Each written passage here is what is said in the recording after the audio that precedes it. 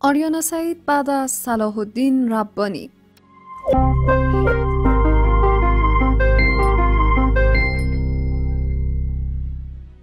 بعد از آنکه صلاح الدین ربانی از سمت وزارت خارجه استعفا داد تغییرات زیادی به وجود آمد و صداهای زیادی دال بر اینکه تیم رئیس جمهور غنی می‌خواهند پاکسازی قومی را از وزارت خارجه شروع کنند. که این روند با اخراج چند نفر از نزدیکان صلاح الدین ربانی و چند تبدیلی رد سفارتخانه ها همچنان ادامه دارد.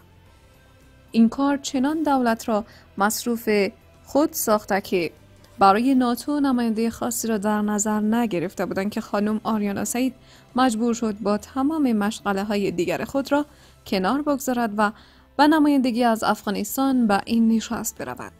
آریانا سعید در این نشست از وزرای ناتو خواست که افغانستان را ترک نکنید چون اگر شما برید ما دوباره به دوره طالبان برمیگردیم. این گفته ایشان چنان تأثیری بر تمام کشورهای عضو ناتو گذاشت که همه یک صدا گفتند ما با تو هستیم آریانا حالا از شوخی گذشته چرا در این کشور هیچ کس سر جای خودش نیست آوازخان سیاست می‌کنه. وکیل پارلمان تجارت و رئیس اجرایی کشور مدلینگ و حالا رئیس شورای علمای شیعه. کمپاین انتخاباتی بعد از وفات شیخ آصف محسنی ریاست شورای علمای شیعه افغانستان را شیخ هاشم صالحی بر عهده می‌گیرد. این شورا را جمعی از علمای شیعه در افغانستان تشکیل می دهد که مهمترین استراتژی های مذهبی را در افغانستان اتخاذ می نمایند. در جلسه چند روز گذشته ارگ ریاست جمهوری دیده می شود که آیت الله صالحی رئیس شورای علمای شیعه افغانستان در مراسم تقدیر از کمپاینران تیم دولتساز حضور داشته است.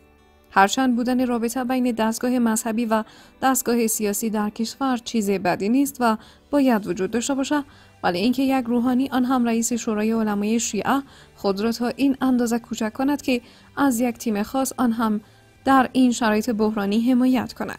با تاسف که باید گفت که مقام علمای مذهبی را تا سطح ملای درباری و فاقد خاصیت پایین خواهد آورد. پس لازم است با این نکته تاکید کنیم که بزرگوارانی که در رأس شبکه‌های مذهبی قرار دارند نقش خود را در معادلات سیاسی تعریف درست کنند و از هر جایی رفتن پرهیز کنند و خود را بازیچه دست سیاستمداران کشور نسازند.